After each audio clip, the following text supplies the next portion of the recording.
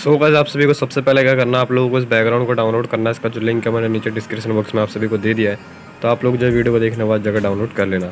अब गैस आप लोगों को जाना है ऐसे ऐड फ़ोटो में। गैस यहाँ से ऐड करना आप सभी को अपने मॉडल को। एंड यहाँ पे गैस मैंने मॉडल का जो है कटआउट पहले से कर रखा है ताकि यार आप लोगों का जो है मैं वीडियो में ज़्यादा टाइम वेस्ट ना करूँ। तो अगर आप लोगों को अगर बैकग्राउंड ट्रेस करना नहीं आता तो उसके लिए मैंने प्रॉपर वीडियो बना रखी है। डिस्क्रिप्शन बॉक्स में लिंक मिल जाएगा तो आप लोग वीडियो को जाकर देख लेना।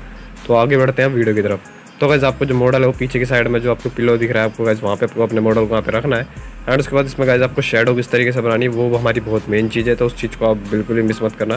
तो शेडो बनाने के लिए आपको पहले जाना ऐड फ़ोटो में एंड ऐड फ़ोटो में जाने के बाद आपको बैकग्राउंड वाले ऑप्शन में जाना है। एंड ऐसे गैस आपको ब्लैक कलर का बैकग्राउंड लेना है इसको करना है ऐड कर देने के बाद आप लोगों को क्या करना आप लोगों को यहाँ पे फुल स्क्रीन करना है एंड उसके बाद आप सभी को चले जाना है ऐसे ऊपर वाले जो रिज़ल्ट के ऊपर जो ऑप्शन है, उसमें फिर इसका इसको मूव डाउन कर देना, फिर जाना आपको इरेजर में। इरेजर टूल में जाने के बाद आपको यहाँ पे लेना का ब्रश ब्रश को लेने के बाद आपको हार्डनेस ओपेसिटी कम कर देना है एंड उसके बाद यहाँ पे साइज़ को इंक्रीज करके आपको फ़ोटो को जूम करना है एंड यहाँ पे कैसे आपको जहाँ जहाँ पे आपको चाहिए मतलब कि शेडो वहाँ वहाँ पे आपको उसको पेंट करना है, ठीक है? एंड कैसे इसमें अभी शेडो जो हमारी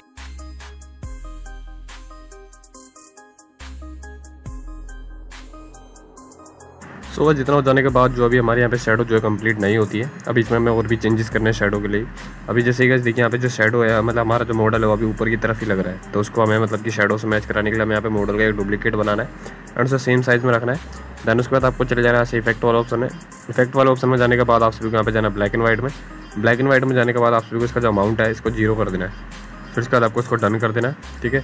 एंड उसके बाद आपको क्या करना है, आपको जाना है इरेजर टूल में। इरेजर टूल में जाने के बाद इसको इन्वर्ट करना है ब्रश लेना है। ब्रश को लेने के बाद आपको उसकी साइज़ को इंक्रीज करना है ओपेसिटी हार्डनेस कम कर देना थोड़ा सा।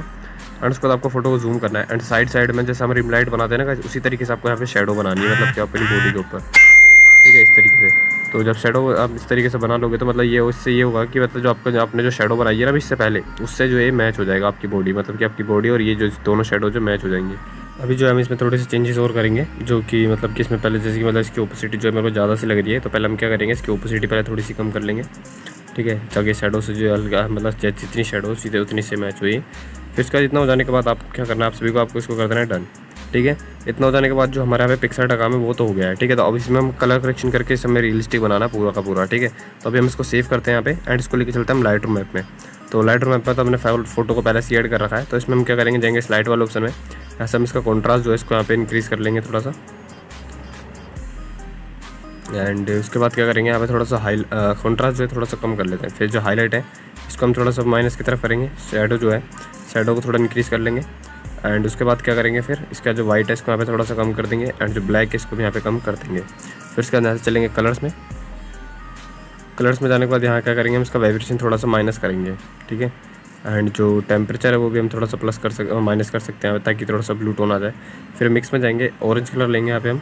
ऑरेंज कलर लेने के बाद यहाँ से हम सेचुरेशन थोड़ा माइनस करेंगे ल्यूमिनस बढ़ा देंगे। फिर उसके बाद क्या करेंगे, अब इसमें जो है ये डार्क ब्लू डार्क ब्लू जो यहाँ पे हम चाहो चाहो तो ब्लू कलर को चेंज भी कर सकते हो, ठीक है? स्काई ब्लू डार्क ब्लू जो भी बनाना चाहते हो बना सकते हो। तो यहाँ पे हम इसको प्लस कर लेंगे, थोड़ा सेचुरेशन इसके बाद कर देंगे डन अब उसके बाद क्या करेंगे, हम ऐसे जाएँगे इफ़ेक्ट वाले ऑप्शन में, यहाँ से हम क्लियरिटी इंक्रीज़ करेंगे।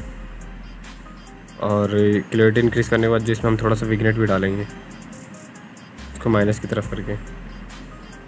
अब देखिएगा यहाँ पे जो है हमारा इतना हो गया, अब इसका जो फीदर है, हम फीदर को जो है पूरा प्लस कर देंगे हंड्रेड ठीक है, इतना हो जाने के बाद हम नीचे वाले टूल में जाएँगे हमें फ़ोटो की शार्पनेस बढ़ा देंगे नोटिफिकेशन को भी बढ़ा देंगे एंड जो कलर नोटिफिकेशन हम इसको भी बढ़ा देंगे। तो फाइनली हमारी जो फ़ोटो यहाँ पे कंप्लीट एडिट हो चुकी है तो कैसे आशा करता हूँ आपसे वीडियो पसंद आई होगी।